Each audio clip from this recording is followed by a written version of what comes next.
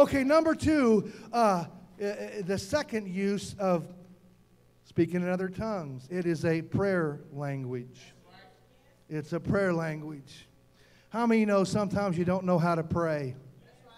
Some things are so complex, so difficult to understand with your natural mind and your senses that you really don't know how to pray. You ever been there? I've been there many, many times. And that's why the writer to Romans says this in Romans 8:26. He says, "In the same way, the Spirit helps us in our weakness, for we do not know what we ought to pray for, but the Spirit Himself intercedes for us with groans that words cannot express. And He who searches our hearts knows the mind of the Spirit because the Spirit intercedes according, intercedes for the saints in accordance with the will of God. There are moments that will happen in your life when you don't know how to pray you will look at that scenario and you will think, ah, how can God bring good out of that? My son is uh, overdosing on drugs. My, my daughter is, is pregnant and not married. My, my, my wife was in a car wreck. My father passed away. My cousin was diagnosed with leukemia. The burdens of life come into every situation. And in that moment, my friend, you need a language that you can pray in because you see, our mental mind is not enough to be able to communicate with the Lord. What we need is a supernatural spiritual language where we can communicate with our spirit directly to God. Amen. I believe in this with all of my heart. And I'm just here to declare that it is possible for your spirit to pray in a language you don't understand about a situation that you can't figure out and see God turn it around and bring good out of it. Amen. And I believe in that with all my heart. Amen. You say, well, Pastor, aren't when, when you speak in tongues, aren't you supposed to understand what, what you're saying? Doesn't I mean, you know, like on the day of Pentecost, they when they spoke, the people understood what they were saying. That's an interesting question. I'd you like to know the answer. 1 Corinthians 14, 2 gives us the answer. It says, For anyone who speaks in a tongue does not speak to men, but to God. What? I'm not speaking to men, I'm speaking to God. Indeed, it says, No one understands him. He utters mysteries with his spirit. It's your spirit talking to God's spirit by the Holy Spirit. Come on. Wow, I'm just telling you, it's supernatural. You say, well, uh, do, are we supposed to not pray with our mind, with our wisdom? Are we not supposed to use English or Spanish or whatever language you speak? French up there for, for some others, you know. No, so what is it? 1 Corinthians 14, 15 says, What shall I do? I will pray with my spirit. I'm going to pray with my mind also. Wait a minute. You can pray both with your spirit and with your mind. And uh, I just believe that this is a very, very powerful thing. Because you see, we don't know how to pray as we, as we need to pray.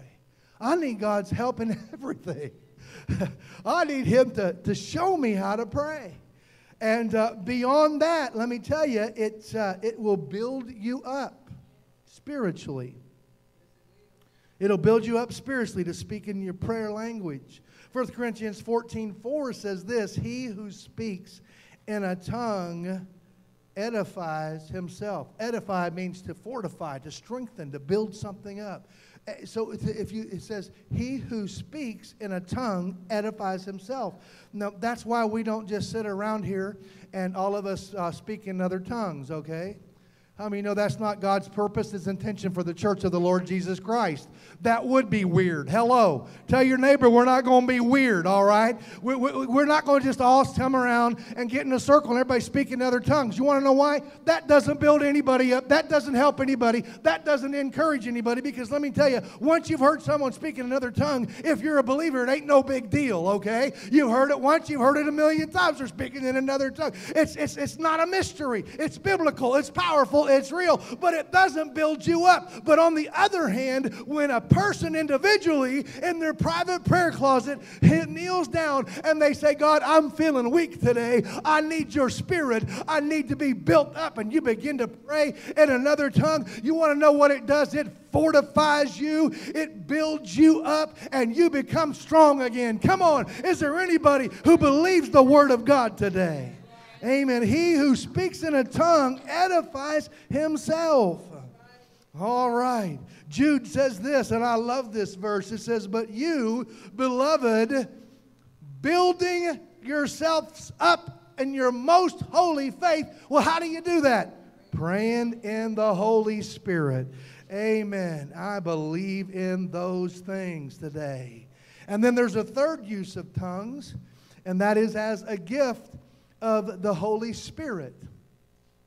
The Bible tells us that God has given to the church of Jesus Christ various supernatural gifts. They're found in the book of 1 Corinthians, chapter 12. Let me read some verses out of there. It says, There are different kinds of gifts, but the same Spirit. Now, to each one, the manifestation of the Spirit is given for the common good. To another, it goes on to say, different kinds of tongues and still to still another the interpretation of tongues so this gives us yet a third use for tongues in the Bible. The first use is what? Number one, it is described as the initial physical evidence of the baptism in the Holy Spirit. Secondly, it is a prayer language. And thirdly, it can be used as a gift of the Holy Spirit.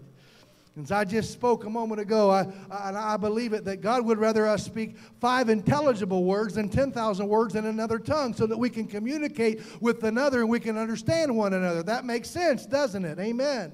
But there are moments in the body of Christ when God wants to grab someone's attention. And, and, and so, what the Lord does is He begins to manifest the gifts of the Holy Spirit. And what happens then is somebody gives a message in tongues and then that message in tongues needs to be followed by an interpretation of that message. Come on. Those are gifts of the Holy Spirit. You say, well, why would God do that? I mean, isn't that going to like freak people out? Well, you know, what, what, what is that all about? Let me tell you something. God actually has rules about this. 1 Corinthians chapter 14 says that at the most two, if anyone, 1 Corinthians 14 27 says, if anyone speaks in a tongue, two or at the most three should speak one at a time, and someone must interpret. So uh, that tells us that we're not supposed to all just sit around speaking in, the, in other tongues and, you know, doing all of that. No, we're, if there's a message in tongues, it has to be interpreted.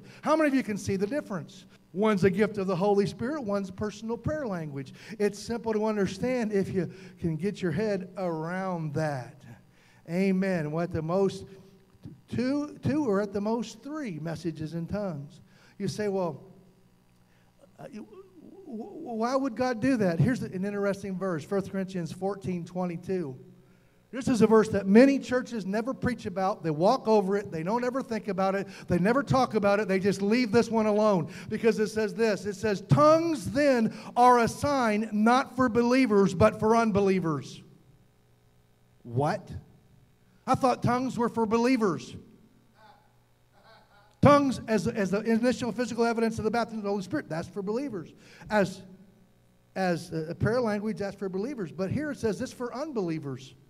Unbelievers, absolutely. You want to know why? Because when somebody is in a church service and the Holy Spirit's moving and someone gives a message in other tongues, let me tell you, they may not understand what's going on, but they can feel what's going on. And it is a supernatural sign that there's a supernatural, powerful God that has something to say to them in that moment. Do I have anybody who believes that today? Come on. And I just want to believe, tell you that I believe in the power of the Holy Holy Spirit. Back earlier in my day, when I, young, when I was a young man, I was trying to decide whether I should be a minister or what I needed to do. I was about 20 years old and I, I was looking for guidance, and I was at a church camp, all right, uh, up in Alexandria, Minnesota. And uh, there was, a, there was a, a, message in tongues and an interpretation that was given in that congregation of about 1,500 people, okay? And so it was crazy. I mean, I couldn't even hear it. They were, they were just way over over there. I couldn't make out the words that they were saying. True story. So I said, God, I said, I just want to hear from you today. If anything like that ever happens again in this service, let it be right where I can hear. Let me tell you something. There was a guy sitting right behind me with the loudest voice that anybody, he, he could have preached to 10,000 people, all right? God wanted to get my attention that day, and he began almost immediately after I prayed that prayer. Guess what? He began to speak in another tongue, and then he gave an interpretation, and that interpretation was exactly what I needed in my life. I said, Yes, Lord, that's for me. Come on. I'm just here today to tell you that this stuff is real and it's powerful, and we need it in the church of the living God. Because let me tell you, our world is hurting, and there's a lot of young people in our world that they believe that Satan has the power, that drugs have the power, that demons have the power, but they've never seen the power of the living God. I'm here to declare that Jesus Christ is the same yesterday, today, and forever. He still does the miraculous, and He's still a supernatural God. Hallelujah. Hallelujah. All right. Amen. Ah, where am I at now? All right, number four. You still with me today? Spirit, it's uh, uh, the fourth use of tongues is as a means of worship. Spirit filled worship is something that is tremendous. Remember, tongues are a way of communicating with God, right? Absolutely.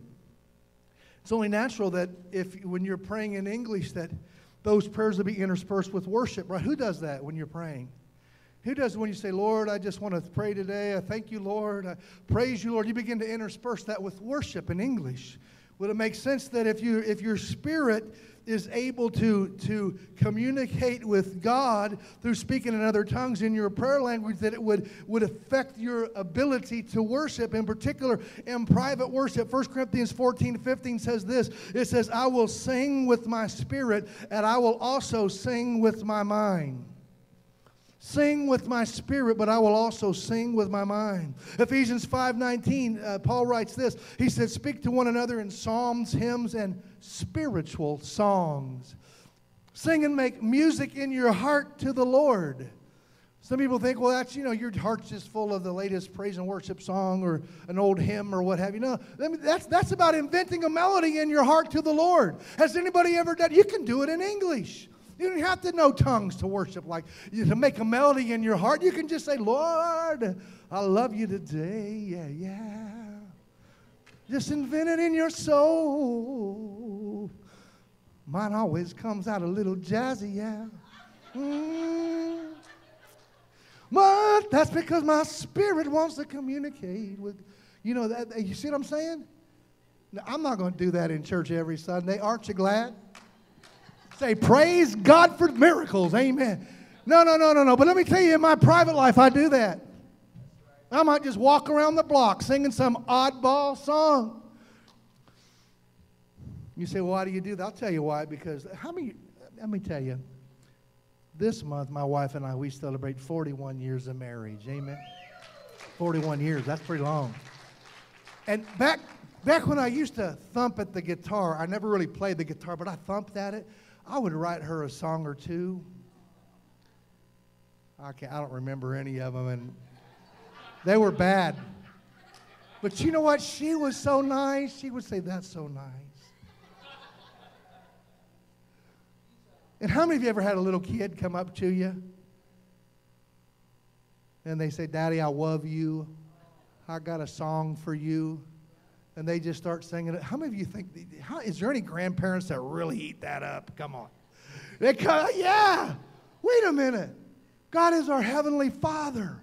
How much does He love it when we come with the simple melody in our heart, with songs in English or, or songs in, the, in, our, in our prayer language, and we worship Him like that? Let me tell you something, it'll take it to a complete new dimension in worship. Amen. And I believe that God, our Heavenly Father, just loves it when we sing and make melody in our heart to Him. Amen. Amen. And the beauty of it is that those praises, that worship, that spiritual song pierces the heavens and comes into the ears of a mighty God that says, I just love it when my children praise me. Amen. Would you stand with me today?